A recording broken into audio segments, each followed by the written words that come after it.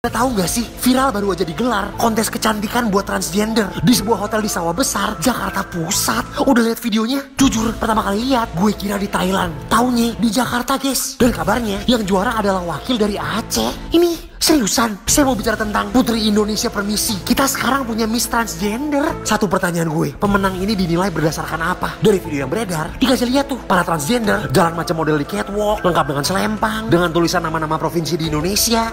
dah, gimana proses seleksinya? Siapa jurinya? Apa ada jaringan terselubung? Nggak mungkin kan? Mereka masang spanduk di jalan, tulisannya, sudah siapkah kamu menjadi Miss Transgender selanjutnya? Udah gitu, ada video yang nampilin wakil dari Aceh yang menang. Kalau beneran dari Aceh, kakaknya yakin berani balik ke Aceh lagi. Ditambah pula, menurut pengamat kepolisian IPCW, Bambang Suranto, Intel Polres Metro Jakarta Pusat harusnya bisa antisipasi acara ini. Kalau acara transgender aja lolos, apa kabar kalau ada ancaman yang lebih serius? Kata pihak Polda Metro Jaya, konteks ini nggak ada izin. Ya iyalah pak, masa iya? Panitia kepikiran, eh kita ajuin izin dulu ya, biar nggak jadi perkara. Terus sekarang apa? Polisi lagi mau menyelidiki pihak hotel dan panitia. Tapi gimana menurut lo? Bingung? Sama, gue juga bingung mau respon apa.